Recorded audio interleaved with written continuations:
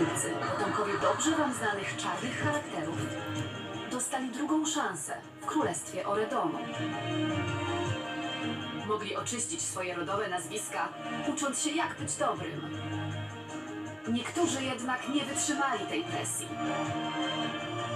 Mal postanowiła wrócić na Wyspę Potępionych.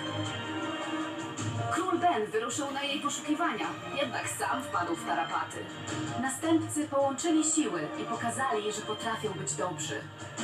Teraz chcą dać tę szansę nowym osobom z wyspy, a król Ben postanawia oświadczyć się Mal. Po wielu przeciwnościach losu możemy zaprosić Was na wielkie królewskie wesele. Ale czy ta historia skończy się happy endem?